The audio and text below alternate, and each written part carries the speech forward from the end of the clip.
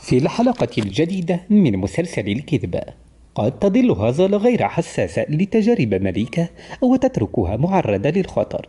تستطيع هازل استغلال نقاط ضعف دورو لاستفزازها ضد مليكة. قد يكون لهازل أيضا دورا في خطة قادر وربما يكون الثنائي قد استهدف مليكة معا. تتسع المسافة بين درو ومليكة مع الألعاب والأسرار الخطيرة المحيطة بهما.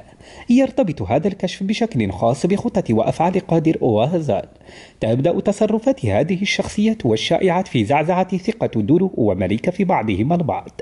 بالإضافة إلى ذلك لدى كلا الشخصيتين أسرارهما ومخاوفهما الخاصة مما يزيد من المسافة بينهما.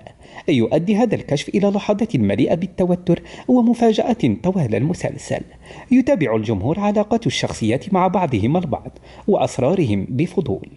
لا تنسوا الاشتراك في القناة. أراكم في فيديو تحليل التالي. إلى اللقاء.